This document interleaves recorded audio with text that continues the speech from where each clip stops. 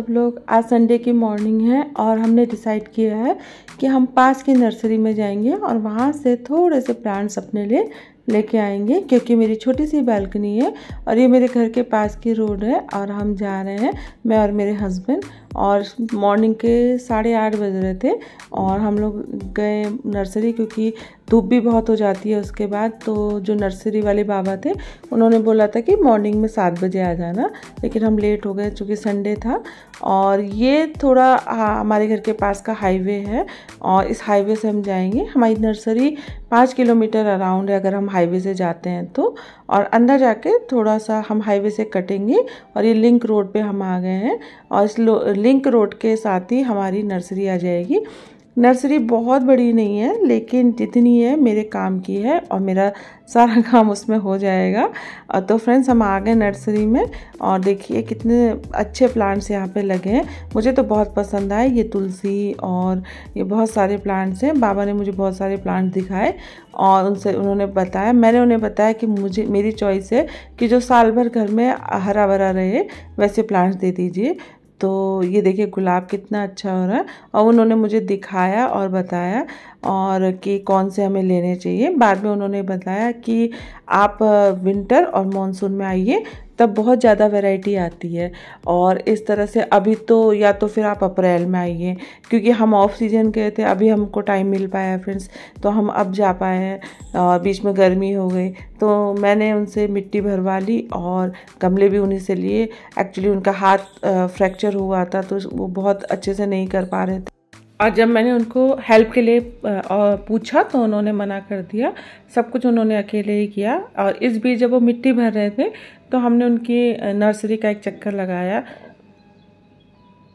और देखा कि क्या क्या प्लांट्स और हैं।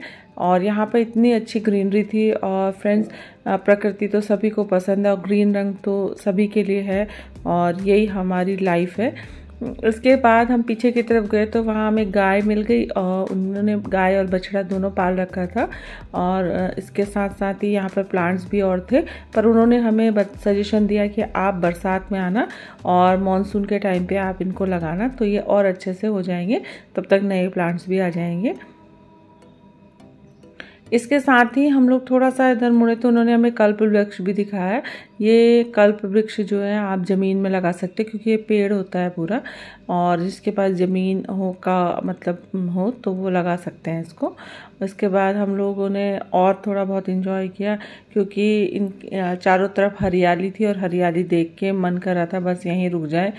और ये हैं झाड़ झंकार, और जिन्हें हम बोलते हैं झाड़ झाड़ झाड़ियाँ मतलब हर्ब बैम्बूशेज तो वही हैं ये। उसके साथ ही ये यहाँ पर जो प्लांट्स हैं, ये भी बड़े सुंदर लग रहे थे। और इसमें से जो ये पर्पल कलर का है, इसमें से एक मैंने ले लिया।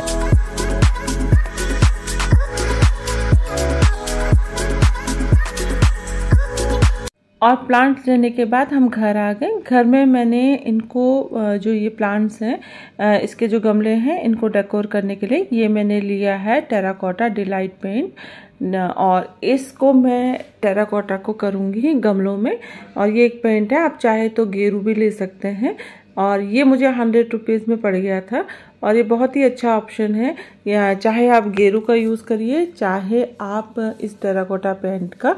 और इससे आप गम, गमलों को पेंट कर दीजिए।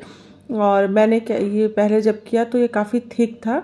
तो इस, आप इसके थिकनेस को कम करने के लिए थोड़ा सा इसमें पानी मिला सकते हैं।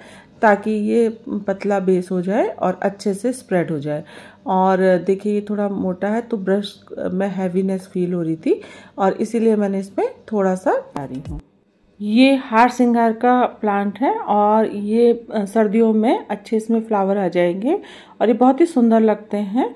और इस तरह से ये जो मेरा मनी प्लांट है, इसका ये पुराना प्लांट है और इसकी डंडियों को मैंने कुछ निकाल दिया है। और इनको पानी में डिप कर दिया है ताकि इनमें जड़ें आ जाएँ और जब बरसात शुरू हो जाएगी तो मैं इन्हें भी प्लांटेशन करूँगी इनका। और इस तरह से फाइनली मैंने अपने जितने भी प्लांट्स में लाई थी, उन सबको मैंने अरेंज कर लिया है इस स्टैंड में। और स्टैंड को आपको पता ही है, मैंने खुद ही पेंट किया है और उसका भी वीडियो है मेरा। आप ज़रूर चेक करिएगा लिंक मैं डिस्क्रिप्शन में दे दूँगी कि कैसे पुरानी चीज़ों को रीअरेंज करके नया करते हैं। ये कड़ी